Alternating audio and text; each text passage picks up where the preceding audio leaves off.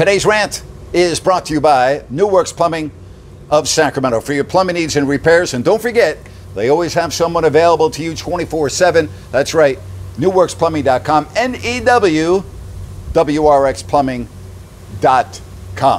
Be sure and join me on my podcast today. My guest, longtime voice of the Atlanta Hawks, four time Georgia Sportscaster of the Year. Great stories about some of the legendary announcers of the past Curt Gowdy, Johnny Most, and more. Steve Holman, my guest today on If You Don't Like That. Now it happened again. Boris Becker, multiple Wimbledon champion, announcing Wimbledon for BBC, referred to the fiance of a player as very pretty.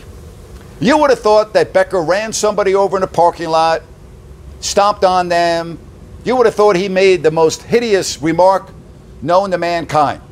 He's in hot water. He's got various women's groups coming at him because he said that the fiance of a player was very pretty. Ah, you know what? Maybe I'm old fashioned. I'm an old man, I'm 62. You know, I don't ever recall telling a woman, You look very nice today. You're very pretty. And her saying to me, Why are you giving me a compliment for? Shut up. Guys like compliments too, right? Every three years or so, I go to Bangkok to buy my suits. And when I have a new suit, people come up and go, Man, I really love that suit. That is really nice. I don't say, You know what? What the hell is wrong with you? Why are you giving me a compliment? Say, Thank you very much. Makes you feel good, right? Don't we all like compliments? On TV saying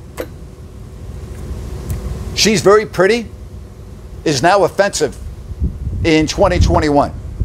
And you know what I say? Get a freaking life. If you're up in arms and you're really bothered because Boris Becker referred to the fiance of a tennis player as very pretty, then you need to look in the mirror and examine what the hell is wrong with you.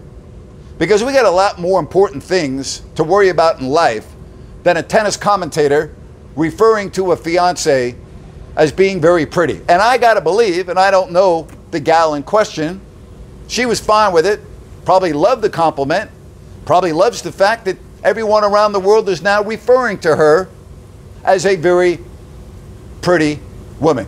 Again, maybe I'm out of touch.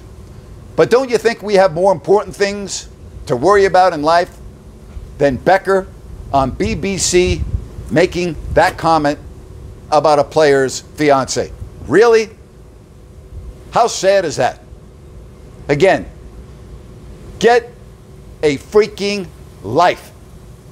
And that's my rant for today. If you like what I have to say, leave a thumbs up, hit the subscribe button, leave me a comment.